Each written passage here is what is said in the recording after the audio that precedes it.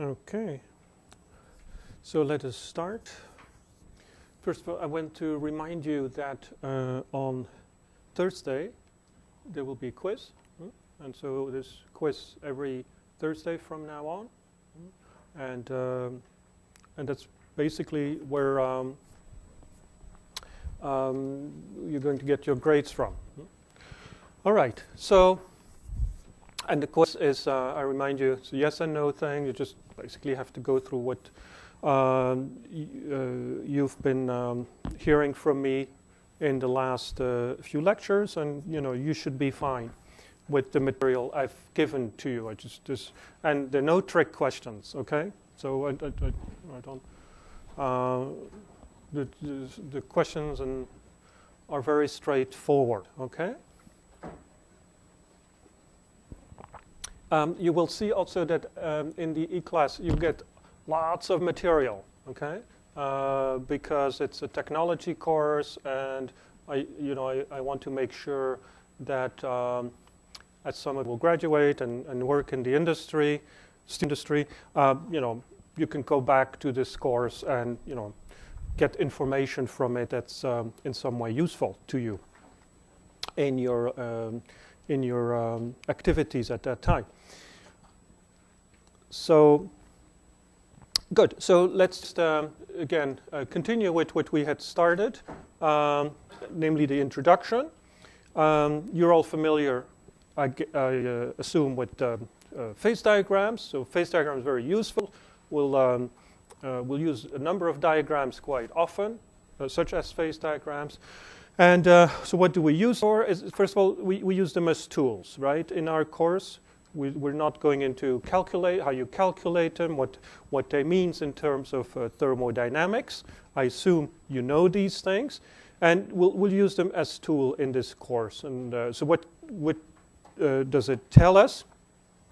Is at any point on this uh, diagram, yes, uh, uh, has a, a temperature and composition, for instance, carbon content here. And, um, and there's also information about uh, the phases involved in the microstructure at that time. So in this particular case, uh, I will have gamma phase and cementite. hmm? If I have three point, say, 2%. Um, yeah? So I, I will not only have uh, information about the number of phases, the type of phases, also the composition of each phase. It will tell me that at this temperature, the austenite contains this much, 1.2, uh, 1.5 excuse me, percent of carbon, and that the cementite contains 6.7 percent of carbon. hmm? Right. So I will also, there are a, a number of uh, points that are of interest here. Uh, for instance, this structure, the, the microstructure I get here is a very well-known uh, lamellar microstructure that we call the eutectoid, yes? And um, we will, so if we add the information here uh, on the graph, hmm, um, I uh, uh, want to tell you that when we uh, look at steels, hmm, uh, we typically define them as uh, iron carbon alloys with less than 2% of uh, uh, carbon. And you can see where this point, um, where this definition comes from, it, it's due to the maximum solubility of carbon in austenite hmm, at around a temperature close to 1200 degrees C. hmm. Um, many steels um, that uh, we're dealing with, is, of course, uh, do not have this level of carbon. hmm. As a matter of fact, uh, most steels will have up to 1% of carbon. Yes? Then you have you know, close to 99% of the steels that uh, you will encounter. hmm. Um, so we'll go up to nine, uh, excuse me, um, about a percent of carbon, yes? Um, and um, a lot of steels are produced with even uh, less carbon, with about 0.5% of carbon. So of all this huge, big complex phase diagram, the most important part of it is this little piece here. Is this little piece, yeah, with from zero to a half a percent of carbon. Hmm? And so no wonder that a lot of research is being done on you know what what going what goes on here, but it's pretty simple in terms of uh, you know the the phase diagram itself. Hmm? Right. Hmm? Let's move on. Okay. Now this is a binary phase diagram. So anytime uh, we talk about steels, if you remember last lecture where I wasn't there, but I, I, I hope you uh, listened to the uh, the video. The uh, you know we talked about silicon and manganese and chrome, etc. So uh, we have a multi-component system. steels are multi-component alloys. And so these, um, uh, uh, this, this phase diagram doesn't look like this anymore because it's not a pure binary iron carbon. And um, in particular, you will have this, this austenite, this region here we call the austenite stability range. Yes, this range here will be influenced, will, be, uh, uh, will become larger or smaller depending on the alloying. Yes? One of the things uh, by which you can um, describe the, uh, the effect of alloying elements is by, by looking at this eutectoid temperature and what happens when you add elements to um, the, uh, the austenite here, yes, is, well, first of all, the eutectoid composition, yes, the eutectoid composition, that is this composition here, yes, um, goes from 0.8, yes, to a lower value. Hmm? So that means the eutectoid composition moves to lower carbon content. And this is independent of whether or not um, the alloying element you add is austenite stabilizer or um, ferrite stabilizer. You can see here uh, nickel, an austenite stabilizer, uh, has this effect, and titanium also. All right. The, however, the eutectoid temperature, yes, the eutectoid temperature is moves in a very specific direction. If the element, so you can see here, I have, if this is the eutectoid temperature, yes, this is the temperature here. Um, it's around 720 degrees C. Yes. If I add a ferrite stabilizing element, ferrite stabilizing element, this point will move up hmm? in temperature. If I add austenite stabilizing elements, such as nickel and manganese, it will move down. Hmm? And that is in line with the increase in the stability range of the austenite. Hmm? Okay, good. So um, in this diagram, there are a number of things. Um, because you're in steel research, you should know. Hmm? And uh, so, in particular, um, you should know that uh, there is a, in this system, there is a eutectic here, not again is not really important when you're dealing with steels. Yes, um, at 1148 degrees. This important here. This point here at 0.77 percent of carbon. That's the eutectoid uh, composition, and the eutectoid temperature is 727 degrees C in, in the uh, system. Yes. The other thing you should know is that the carbon content of the cementite is about 6.7% of carbon, yes?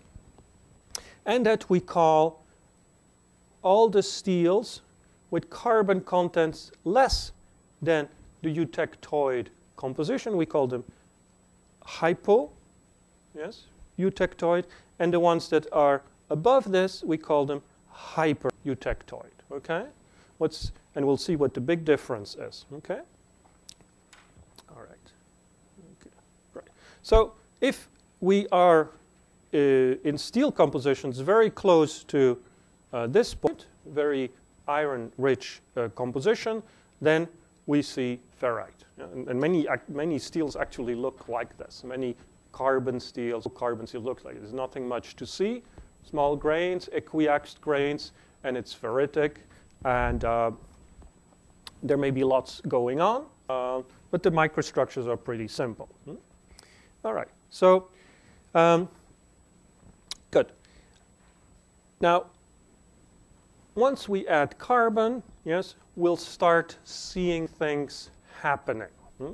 In particular, there will be some reactions, yes, and again, we will focus on this part of the diagram in this lecture. So let's see what happens. So at high temperature, we have the austenite, and at low temperature, we have ferrite. We know if it's pure iron, but in the case of uh, the iron carbon diagram, we have ferrite and cementite at uh, room temperature. So what happens? Well, if we have the composition, this uh, eutectoid composition, we know that the austenite transforms into ferrite and cementite in a lamellar fashion. But and, and this happens at this 720. But uh, for many steels, we're actually dealing with part of the diagram that you can't actually see here. Yes? So I blow this up, I blow this part up, and this is what I see. I see, uh, of course, uh, ferrite stability range, yes, up to 910 degrees C. So above this, pure iron is stable.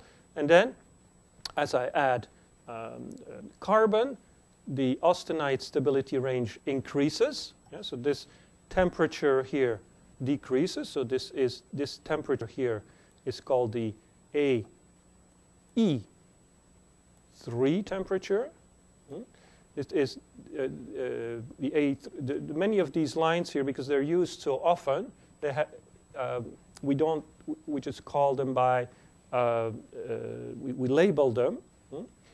hmm? So, so this is uh, the the A3 temperature. The E, e stands for equilibrium. Yes. And um, so this is this line here this line. This is the A3 line. This line here, hmm, the eutectoid uh, uh, temperature, this horizontal line here, is the AE1 temperature. Hmm? And while we're at it, the name of this line is a CM line. A CM line for the precipitation um, of uh, cementite. Yeah? And when it has a little e, it means it's the equilibrium temperature. Hmm? So here the E means it's equilibrium temperature. Why do we specify this? Because when, um, when we heat steels or we cool steels, the temperature at which these uh, transformations, transformation reaction happen, are not exactly A3. When you heat up, the transformation tends to be at a higher temperature. And when you cool down, the temper this transformation tends to be at a lower temperature. Hmm? So uh, we give them other names. When we heat up, we call them a C3 line. And when we, call, and we cool down, we call them the A R3 line. Yes. And so the, the C and the R come from French. The E also comes from E. It comes from équilibre, equilibrium. A C comes from chauffage, meaning heating. The C of chauffage, heat. and R comes from refroidissement, which means cooling in French. Hmm? Okay, and the same for AE1. You have an A uh, R1, and you have an A excuse me, an AC1 and an AR1 temperature. Okay? And those are the things you, you generally measure uh, and that are of importance to you if you're running a, um, a um, industrial line that involves uh, heat treatments because that's the temperature at which the transformations will happen. Hmm?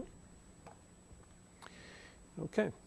Good. So let's have a look at some um, uh, structures here. So if, if you have the eutectoid composition, uh, the microstructure looks like this. Hmm, So you, this microstructure, you know, is called pearlite, and it's alternating layers of ferrite and cementite. If you've never seen pearlite, uh, there are a number of people that, that do research on pearlitic steels. Um, it polishes, when it polishes, it makes a very nice um, silvery shine, and people call it, it looks like pearl surface. hmm? And so that's where the name comes from. hmm? It's not somebody's name, uh, or, or it just looks like um, this nice gray, um, nice gray uh, surface. Hmm? All right, good. So now, um, just a few words about what uh, what are these compositions above this 2%? Are, do we use these alloys? Yes, we do. We, we use them actually quite a lot. Um, and um, we call them cast irons. Yes? And again, very different metallurgies. Yes? Um, and uh, and uh, microstructure controls. We'll not talk about cast irons in the course of our lecture. This is an example here where um, you can see one of the big differences that you can have in um, cast irons. This is a, what is called a gray cast iron.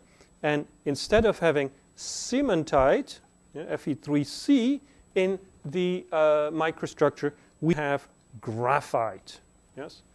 Hmm?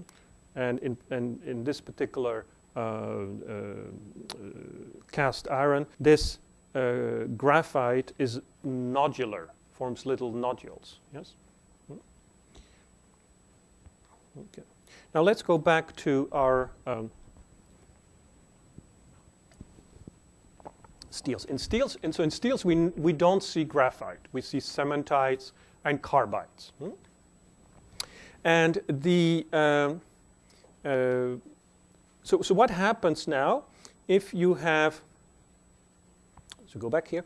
If you have compositions which are hypoeutectoid and hypereutectoid how do they compare in microstructure? Well you can see it here yes? Um, so here the composition is very close to 0.77 but a little bit less than so here the carbon is less than 0.77 yeah, percent. And here the carbon is larger than 0.77 percent. Yeah. Okay. Okay. And so what you get is you see you still see the pearlite in the microstructure. Yes.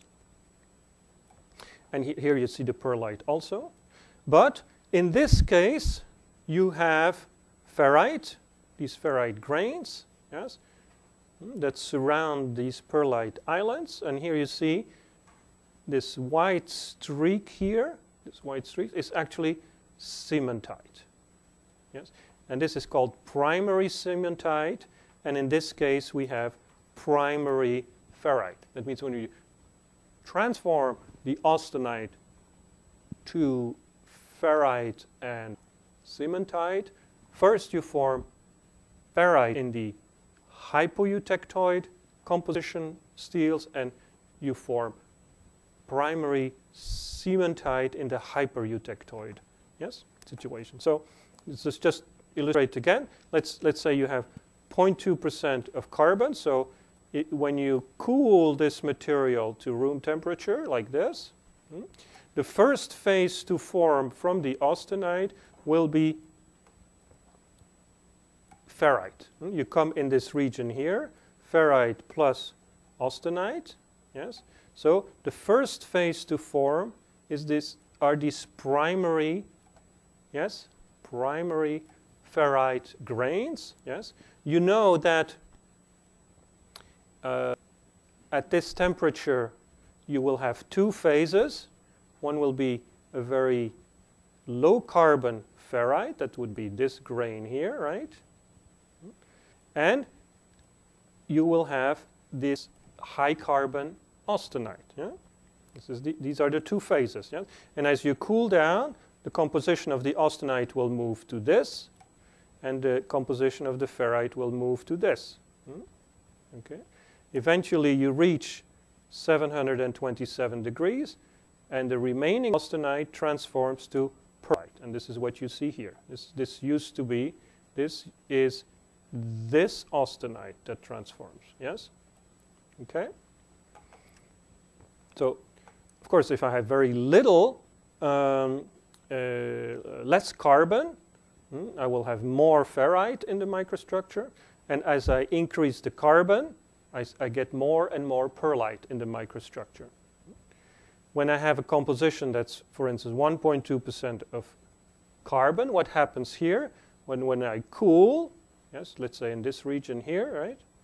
Hmm, at, at this point here, I will start forming primary cementite at these grain boundaries, yes? The composition of the austenite will move along this till it hits this point, and there the remaining austenite transforms to pearlite. So let me just go back to remind you of, right? So, um, so in this particular case, for instance, let's get uh, yes. I'll, I'll do it a little bit later, just, just to remind you of. Uh, okay, let's just, uh, so you just seal this. Okay, so what, what you ha have, for instance, if you, if you go from, say, 0.1 to uh, about 0.77 percent of carbon, yes, you get the amount of ferrite decreases, yes, and the amount of pearlite increases. Yeah? So at about 80.77% of, car of carbon, the structure is fully, we say fully pearlitic. Hmm? Hmm? So how do we how do we know how much of uh, each phase we have? Well, we use the um, what's called the lever rule. Hmm? So for instance, if at this temperature and this carbon content, 0.2% of carbon, I want to know how much, I know I have alpha with this composition, yes, and gamma with this composition. I want to know what's the phase fraction. Well, I measure this piece of length and I call it A, yes? And I measure this piece, and I call this C, yes? So then the phase fraction of alpha is equal to A divided by C plus A, yes? And the phase fraction of gamma is C divided by C plus A. All right? Okay, so I can always, also from the phase diagram, determine the phase fractions to expect. So here, um, for instance, for pearlite, um, I see uh, ferrite, yes, and cementite. Yeah? So uh, if I want to know what is the phase fraction of each phase. In this case, well, I have its pearlite, so say it's about 0.77%. What phases do I have? Well, I have ferrite plus cementite. The cementite is here, yes. So let's get rid of uh,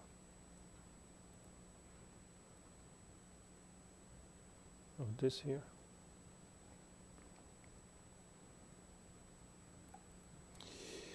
And yeah, so what is the amount of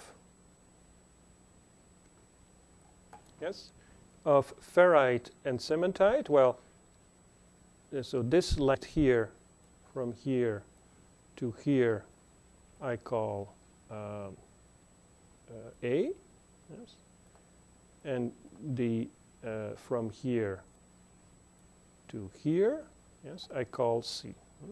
So the fraction of ferrite, for instance, is equal to hmm, A divided by uh, C plus A. Hmm. And I can just can measure this because C plus A is uh, 6.69, yes? Yes. And uh, A is 6.69 9 minus 0.77, yeah? Okay? If you calculate this, you will find the phase fraction of, of ferrite. Hmm? Hmm? Okay? All right, good. Right, so now one of the things we're very interested in in uh, when we make steels, when we process steels, is we want to know um, uh, what happens when we process steels in conditions which are non-equilibrium. Yes, because um, when you heat up uh, your steel, you cool it down, you deform it at high temperature, you use a certain heating rate, a certain cooling rate, and uh, the information you have from the uh, equilibrium phase diagram is of limited use. So we need to have information about the transformations, yes, and their dependence on the undercooling most of the time. So we'll see what happens. We'll first uh, uh, re, uh, go through this analysis of um, the effect of the cooling rate or the undercooling first. Um, and we'll look at the isothermal eutectoid transformation. So, so what we do here is we go from austenite with 0.77% carbon and we cool down to below 727. And we do this at different temperatures.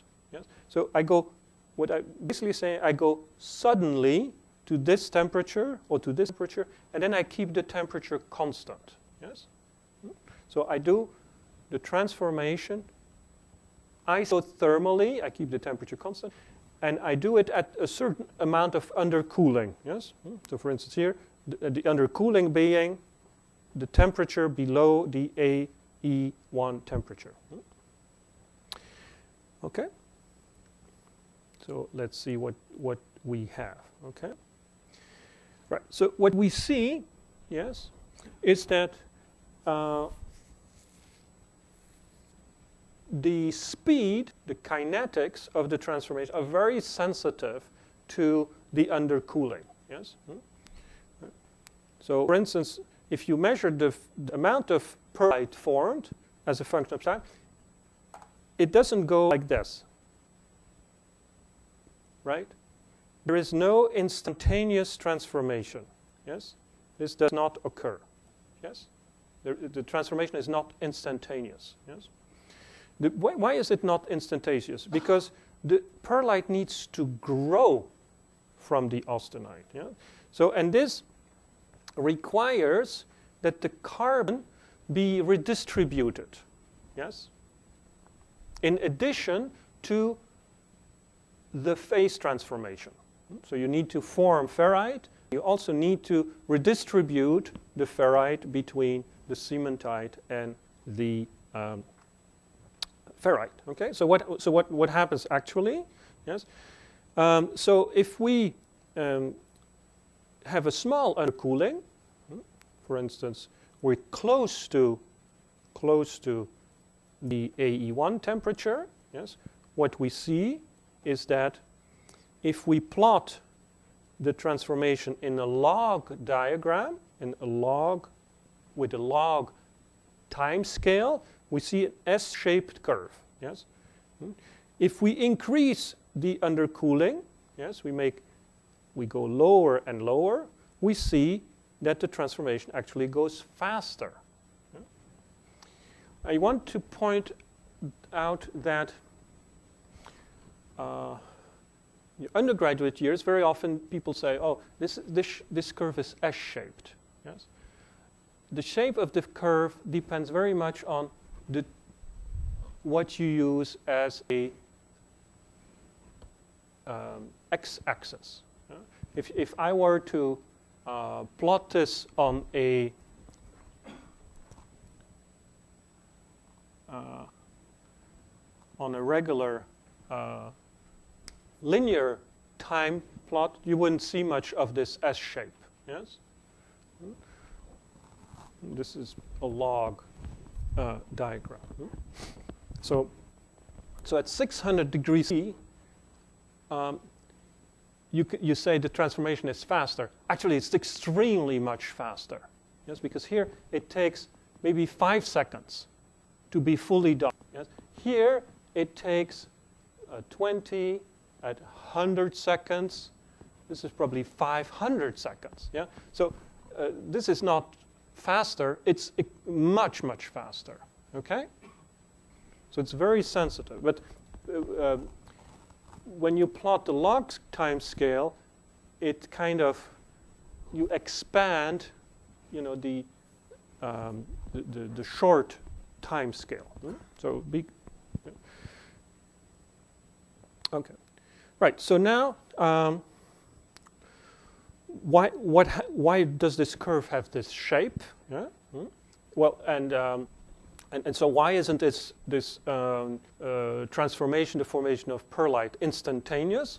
Well, it's because um, this particular transformation and many transformations uh, we are dealing with in uh, high temperature uh, transformation uh, are the result of nucleation and growth. So, um, so in this S curve, here in the region where nothing seems, nothing much seems to happen, yes, what you actually uh, are, you're in the nucleation stage. Yeah? So we make small nuclei, yeah, that becomes larger and larger. Yes. So in this nucleation rate, this is important. Hmm, we uh, we see that the nucleation is higher when delta t is larger. Yeah? So you get more nucleation, yes, when the um, uh, when the undercooling is larger, hmm? and the reason is because you have a high dr higher driving force for the transformations. Hmm? and if you want to have it in terms of thermodynamics, the free energy change is larger. So um, not lots of nucleation. Right. Now, in the growth stage, yes, in the growth stage, you see the, the, the particle or whatever, the uh, pearlite islands grow, yes? And in order to grow, you have to have diffusion, yes? And long-range diffusion, yes? So the growth rate, yes, rate of growth is higher at high temperature, at small delta T. And the reason is simply because at higher temperature, the diffusion, yes? So um, in the nucleation stage, we have the free energy that plays a big role, free energy differences. In the growth stage, we have the diffusion is important, yes? And why does the curve not continue like this, yes? but goes like this, gives you this S shape, yes? It doesn't go like this. That's because as the, these islands of pearlite starts to uh, uh, grow, um, they will start impinging on each other, yes? And they will prevent each other's growth in certain directions where they touch each other. So, th and that gives me this lowering of the um, kinetics at the later stages, okay? Okay, so let's let's let's view this process of uh, nucleation and growth. Yes, and it's important for you to realize that nucleation and growth are not separate stages. They're not. They're happening at the same time.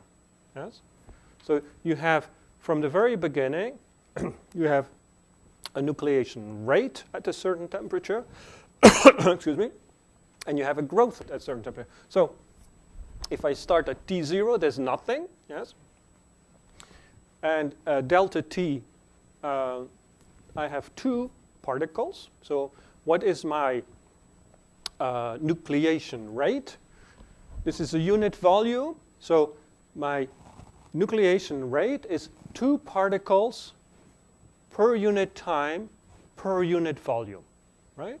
So that means that after 2 delta t, 3 delta t, every time I will see two new nuclei will uh, be formed, yes?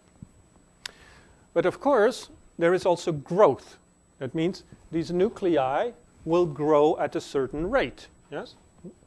So the change in their radius per unit time, yes, um, is a certain value. Yeah? See, so here they're, for instance, they're uh, one uh, nanometer in size. Here they're two nanometers in size, etc. So their uh, growth rate hmm, is, um, uh, and, and you see this, you, you, get at the same time you get growth and nucleation at the same time. So it's not separate stages. Right? There's not like a stage where uh, you form nuclei and then and then that stops and then you have a growth stage. It happens at the same time. Okay, so let's go back now to what happens to pearlite. Yeah? So we have um, so in the nucleation stage, we, but we still talk about the nucleation state. Yeah, it's because the rate of the nucleation is higher. Yes, we have, of course, there's nothing. So uh, the main thing that happens is uh, nucleation. Yes. Um, and we have, um, so the, the, I've already told you that uh, if you do the, the, formation of pearlite at lower temperatures, there's lots of driving force, free energy difference. So um, um we will have higher nucleation rate. The, in the growth process, what is important there is diffusion. Yes, diffusion of atoms towards the growing uh, phase. Yes, and that is higher at high T or at small undercooling. So if we look now at the pearlite situation, hmm? so I have austenite, and I look at the pearlite islands, or we call them colonies, yes, uh, packs of parallel uh, lamellas. Yeah? The, uh, the temperature just below the eutectoid temperature, the nucleation rate will be low and the growth rate will be high. So I get few were larger colonies. If the temperature is very far below TE, yes, I get a very high nucleation rate, but these nuclei don't grow very large, yes, because the diffusivity is low. And in between, Yes, I have an intermediate nucleation rate and an intermediate uh, growth rate. Okay. All right. Okay. So you can track the change, different ways to do this, uh, this transformation. Hmm?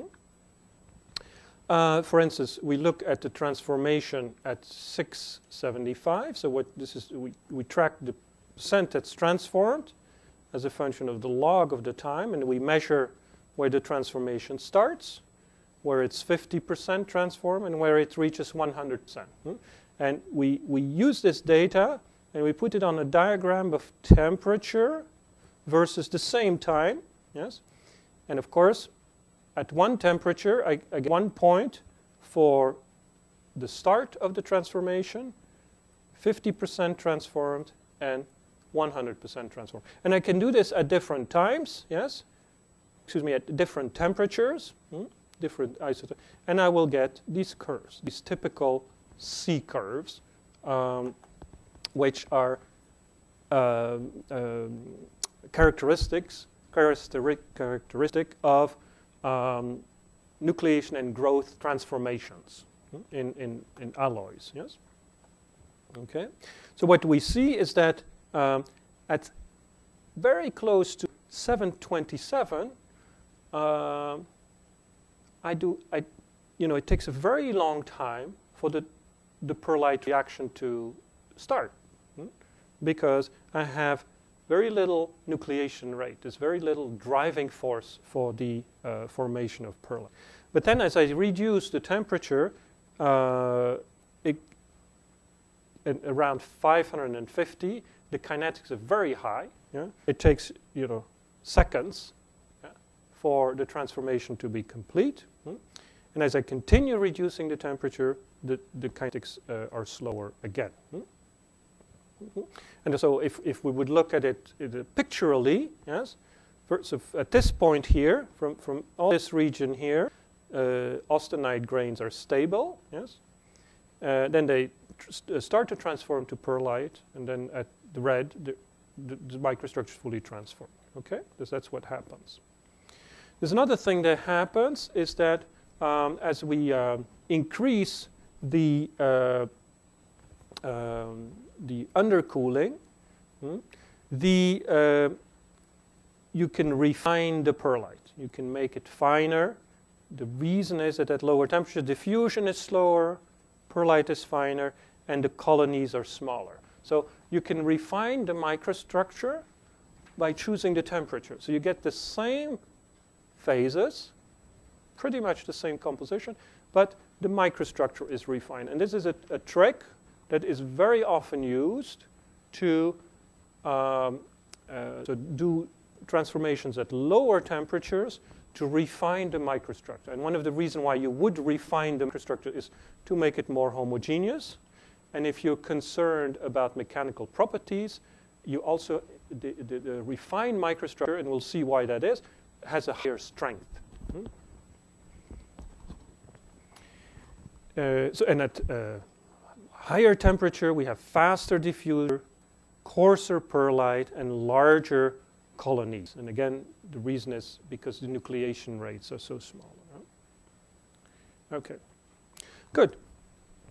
But say uh, we're doing this uh, transformation, we, we form pearlite, and um, what happens if we continue dropping the temperature? We, you know, this, we get finer and finer, progressively finer uh, microstructure? No. Um, as you reduce the temperatures, yes, um, you get into situation where the diffusion becomes very uh, almost impossible.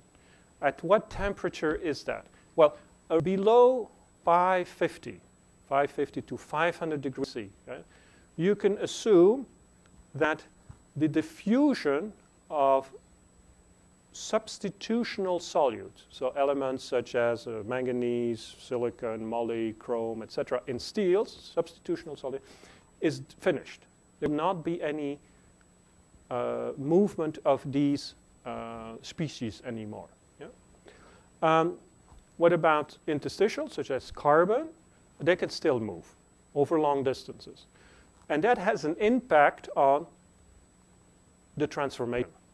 Be, you know, so below the 550 to 500 temperature range, yes, you stop making pearlite and you make another what we call a decomposition product, and that's bainite. Yes, and and so what's what's specific about uh, bainite, yes, is that the, um, the growth yes, is a combination of diffusionless processes and diffusion controlled processes. So how can something be at the same time diffusionless and uh, uh, diffusion control? Well, there is no diffusion of substitutional elements, and there is diffusion of interstitials. That's basically what the definition means. Hmm? Okay. So at low temperatures, if you look at the microstructure, you don't get these lamellas anymore. What you get is bainite. Hmm? This is a very fine, much finer microstructure, as you can see here. And we'll say a few more words about this as we go along. Hmm? All right. Okay. All right, so you have uh, made either pearlite or, or bainite, but you have a structure, yes? And it's, say, lam lamellar. And uh, is that the uh, equilibrium structure that the material will, will have? Well, no. If you, if you would say, I'll, I'll just continue holding on at this temperature, hmm, let's say at 600, I'll wait for a long time, hours and hours, yes? Do the same thing with bainite. I see that the microstructure will continually evolve and you'll end up having what's called spheroidite. Spheroidite, there, the, instead of a lamellar microstructure, you get these cementite nodules. So why, why does this happen? Yes, why do I get, uh, that is uh, uh, simply because in the uh, pearlite you have lamellus of alternating ferrite and cementite. And so you have lots of interfaces, yes? Lots of interfaces. Hmm? And um, they contribute energy, yes? Interfacial energy, yes? And it's very high in a pearlite. So in comparison, this a situation where you have a spherical uh, cementite nodule, yes, it has a much lower uh, surface energy. And so long term, cementite will tend to become spherical and form spheroidite. Um, this is not uh, of academic interest only. Uh, spheroidization is very common um, uh, in certain products, steel products. Um, very many, uh, in particular, wire products, yes, uh, go through this stage of spheroidization in order to make them very soft. Hmm? Okay?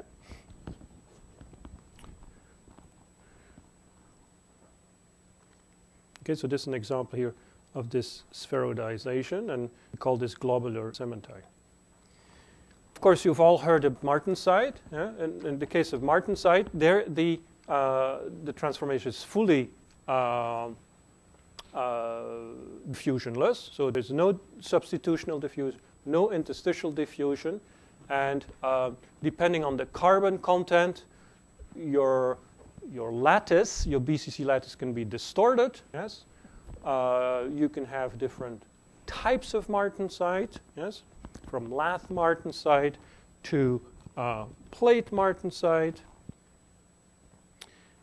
Yes?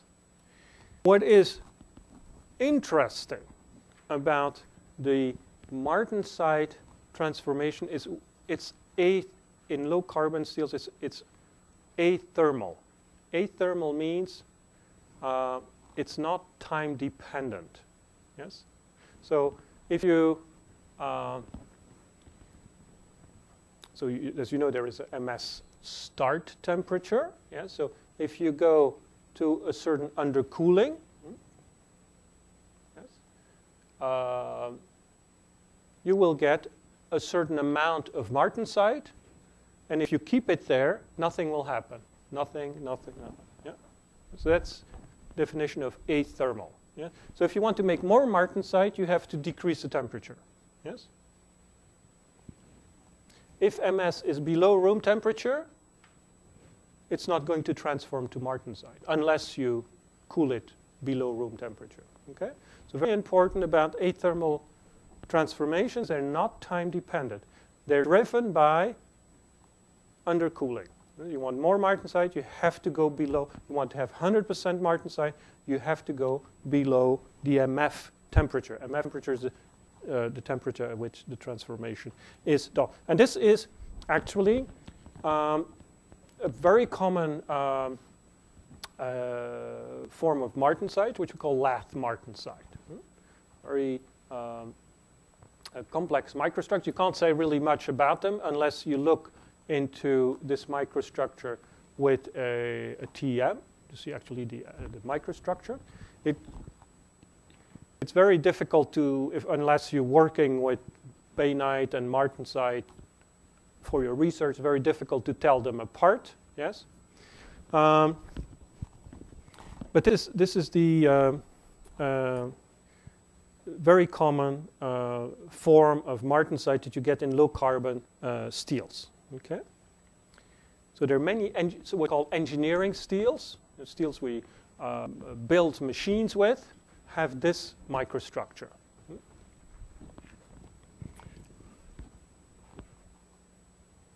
Okay? But if you have high carbon martensite, yes, this is the microstructure you get. Yeah? Very different. Yeah, very different. Uh, and so uh, actually there are two phases here. Uh, these feathers are martensite, and you can see there's still white, this white background here. That's austenite that has not transformed. Yes? So this is austenite. So, so, uh, so these feathers here, right, are uh, martensite, usually alpha, we, we, say alpha prime. And here is, is called, is, is also, it's, it's also, hasn't transformed. So why would that, why would that happen? How, how can you have these two phases at room temperature? Well, it's very simple. If this is the temperature, and this is the time, hmm, and say this is room temperature, room temperature, yes, and your transformation, so this is the MS temperature and this is the MF temperature, yes, and you cool down to room temperature, yes, then the amount of transformation will be such that it's not fully transformed. It's not fully transformed because MF is below room temperature. Yes? The transformation is only partial, and it stays like this. Yes? So that's an interesting thing to do, yes, to control the range of MF and MS, yes, because that allows you to keep austenite, yes, stable at room temperature. Yes? You have to realize, for instance, this uh, steel, the, the temperature, according to equilibrium diagram, yes, the temperature at which the austenite should transform is about 700 degrees C. This is at room temperature, yes. You've got austenite, yes, it's stable at room temperature not for five minutes, but forever. Yes? Okay, because the transformation is athermal. Yeah? Okay. So very interesting property. Yes? So you could you could you can actually by doing some clever things in steels, which uh, you know you can have you can have high temperature phases at room temperatures, yeah, or stable at room temperature. Okay. And of course, uh, the presence of this gamma phase, it's, you cannot, uh, it's not going to, you're going to find this on a phase diagram, right? Because the phase diagram tells me at this temperature, the stable phases are ferrite and cementite. Okay? Okay. Right, and so, the, so the, the, the transformation, how it's, as I said, it's not diffusion transformation. It's, it's, um, it's called a um, uh, shear transformation. Hmm? So it basically means that the austenite is transformed to by very specific shear. Yes? So all the atoms before and after the transformation have a specific position. Yes? That's not the case when you have a diffusion and um, excuse me, uh, nucleation and growth process, the, um, the position of the atoms after the transformation are due to random diffusional jumps. Yes? So for instance, uh, here, uh, you, you can see that uh, for this specific shear here, this is the austenite piece of the austenite microstructure. You can see here, I've shown a 111 plane. Yes? And you can see here this nice hexagonal shape of the 111 plane. Yes? When we shear it in this specific direction, exactly this amount, uh, this uh, uh, uh phase is turned into a 110 face of a um, of, of, BCC or, or martensite. Okay, so again, very different uh, um, uh, shapes uh, of martensite. So here again, this was this um, uh, what we call lenticular. This this martensite here is called lenticular because it formed, the shape is like a lens, yes? The reason why it's formed is, is because of strain energy associated with the transformation. But you can have plate. Here you have the martensites are, are plates. And so here, dark gray is uh, what we call epsilon martensite, and, uh, and this here is just um, um, austenite. So you, and this is uh, this plate type martensite is very common in the iron manganese alloys. Hmm? All right. Okay. So studying uh, this uh, uh, transformation to martensite is important. Yes, we um, have different ways to to look at uh, this transformation. Martensite. But one of the things that is important in connection with uh, martensite, and certainly for engineering steel, is the idea that's called hardenability concept. Hardenability concept. So, so in engineering steels, natural people don't talk much about hardenability because they don't very often make martensite yes, as a microstructure. But people that make um, motor parts, for instance, um, use this microstructure, uh, this martensite. So they want to know how easy can I make martensite? Can I make this high, um, can I make this special microstructure? Hmm? Um, and in particular, they want to know, because they make parts which have a certain section, yes? They want to know if I cool down at a certain uh, cooling rate, yes? Uh, how easy is it to get a fully martensitic microstructure. So first of all, first of all, we need to know why are these people interested in martensite? So, so why uh, martensite uh, for engineering steels? Well, for a simple reason is because martensite, what we call ferrous martensite, can have very high strengths. Yes. Um, the, uh, a typical ferrous martensite can give you 1.5 gigapascal, 2 gigapascal in UTS, ultimate tensile strength. Yeah? That's very high. Yes? And that's mostly achieved through carbon, carbon solute solution, solute, so in solid um, in solid solution. In solid solution. Okay, so you remember I said that um, the solubility of ferrite, of uh, carbon, excuse me, in ferrite almost nothing. Yes? So in order to keep the carbon in solid solution, I, I need to make martensite. In fact, martensite is hmm, is what you get as a result of a transformation. Yeah? By adding carbon in such solution, yes, I make a very hard transformation product that is interesting for many engineering applications. Okay, it's very important here. When we, when we talk about martensite or martensitic transformation, the result, the product does not have to be hard. Yes?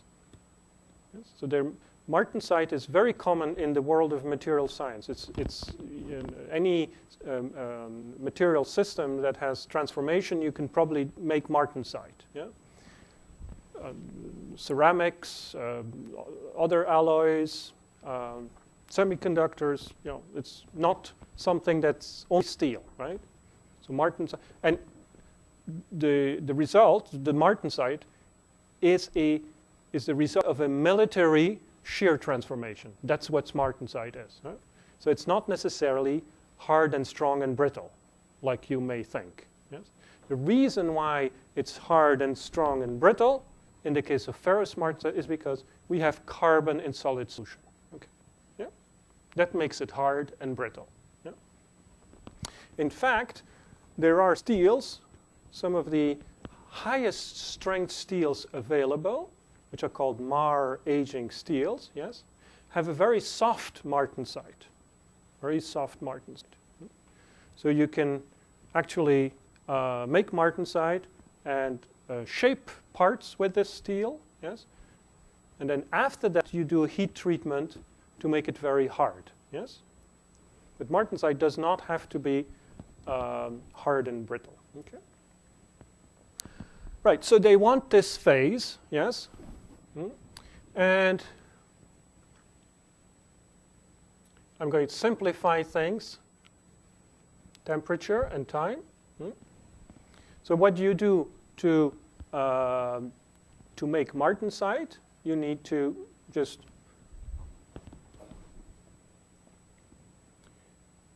So this, these are, for instance, for instance, pearlite or bainite or so um, log t, I'm going to make log t, and I'll say in a moment why I use log t here. If you um, have a thin sheet of material and you put it into a uh, quenching medium, which, which can be oil, special quenching oils, or um, other uh, water, for instance. Uh, if I put this down here, yes, I will have I will achieve a certain quenching rate, yes, and so so for instance, if I go from 1000 degrees C, I will be able to do this, yes, yes. Now, this looks like a curve, yes. It's because it's in a log diagram, yes.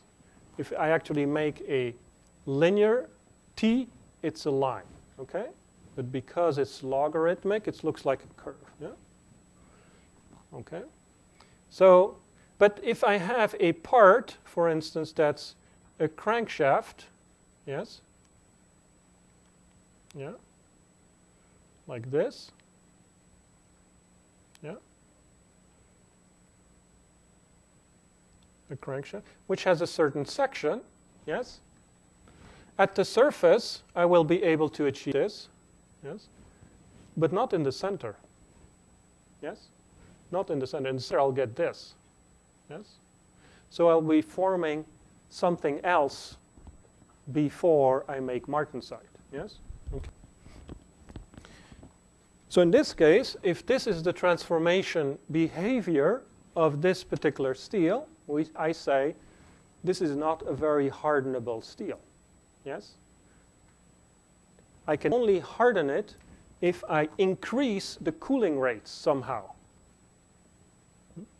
Cooling, cooling rate, yes, um, must be higher so that in the middle the cooling rate is such.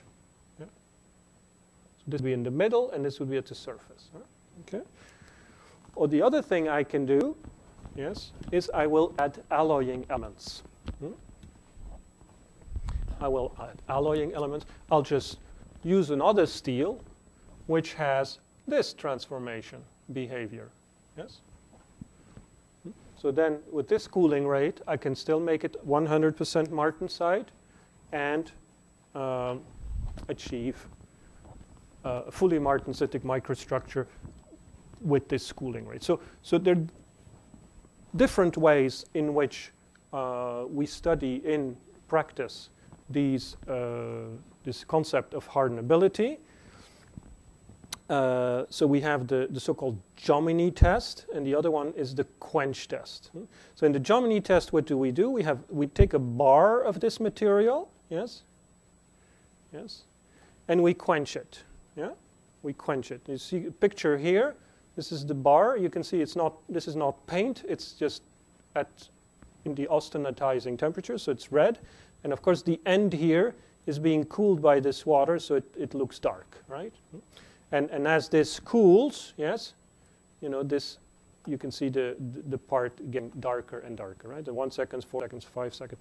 Okay, so uh, so you do this. At, at this end here, of course, this end is quenched very quickly, but the cooling rate here and here and here and here becomes progressively less. Yes? So in general, if you then measure the hardness, yes, you see that you only have these very high hardnesses very close to the quench end, and then it decreases. Yes, you can there, you can do this kind of test, or you can do a quench test where you basically again take a bar, yes, and now you cool it from the side, yes, and uh, you cut it, and then you measure the hardness profile, yes. Hmm? The more martensite you have, the higher the hardness, yes, and you see here the hardness drops, yes, at the center where the cooling rate is the lowest, you have um, the softest material. Yes? This, this profile here, you have to realize, is a function of the steel's hardenability and what is that? That's basically the composition. Yes? So you have steels that will give you this hardness profile, right? So this one is a very hardenable steel. Yes? Or you will have steels that will give you, the same steel will then give you this hardness profile. Yes? So this is a very hardenable steel. Okay? And this hardenability is, as I said, function of the composition. Yes? Hmm? In other words, if you have if you have added alloying elements which influence th these kinetics by influencing the stability of these phases of, of the ferrite or, uh, or influence the kinetics of the transformation, yes, then um, you, that's the way you engineer the hardenability. Okay, so let's have a look a little bit more uh, now with certain cases. Yeah? So let's have a look at a 0.4 carbon steel. 0.4 is very common engineering steels, yes, hmm? to make parts, for instance, motor parts. Hmm? Um, okay, so um, well, let's have first we start with uh, a steel called 1040. It has um, this is a we'll talk about standards uh, after this introductory introduction class here. Uh, this 40 here. First of all, let, let me uh, backtrack here. This this is a um, a standard which is an um, AISI SAE standard, North American standard, very common, very commonly used, yes? And it means that you have 0.4% of carbon. The last two digits give you the carbon content. Yeah?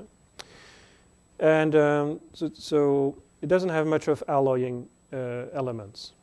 So this is what you measure as a function of the quenched end. Yes. Um, so you see a very quick drop off of the hardness as a function of, yeah. Now I add alloying elements. Here in this case, half a percent chrome and 0.2% of moly, yes. You can see now the hardness is here, yes. I can continue adding alloying elements, chrome, and 1.8% of manganese. And now the, the steel is extremely hardenable. Yes? Okay? So from this hardness, yes, I can uh, get to know hmm, what is the, uh, uh, the, the hardness here that corresponds to the, the amount of martensite that corresponds to this hardness. Hmm? So if I have here at say um, 45, a Rockwell hardness of 45, yes, Yes. So what I show here is the hardness as a function of the carbon content. Yes. For different amounts of martensites in the microstructure. So the more martensite I have, the harder. Yes.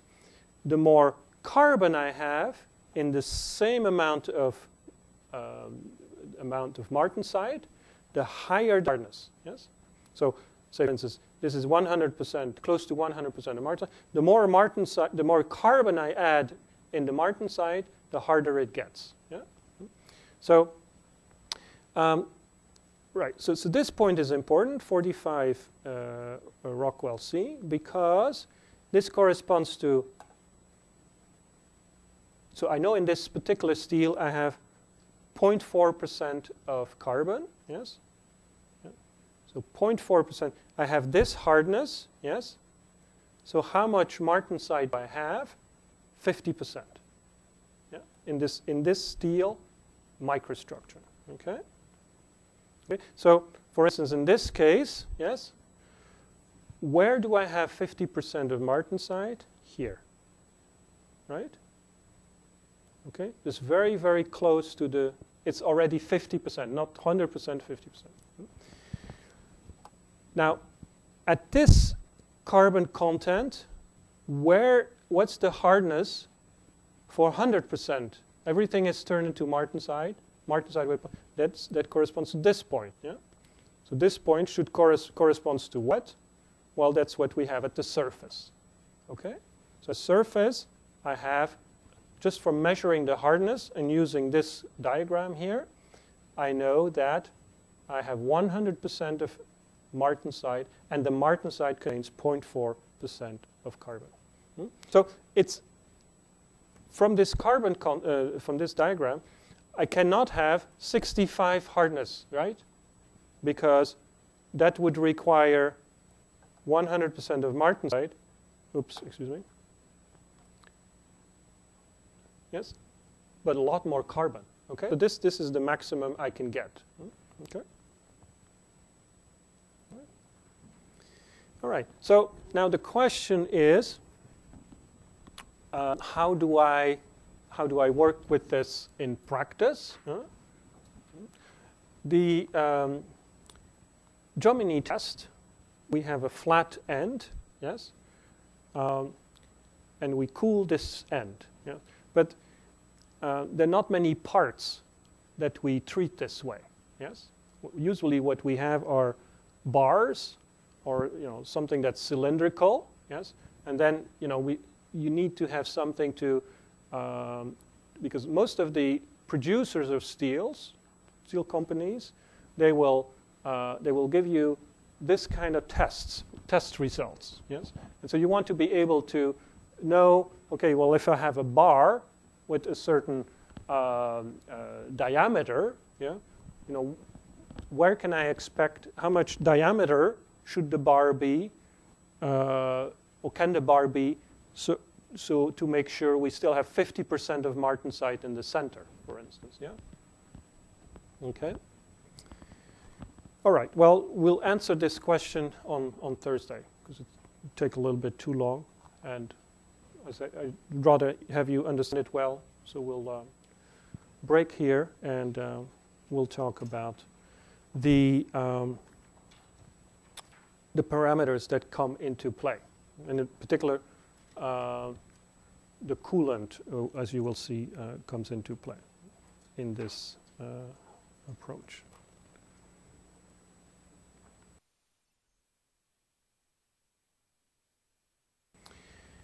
All right, so again, for those who were not here uh, this morning, um, the um, this quiz Thursday.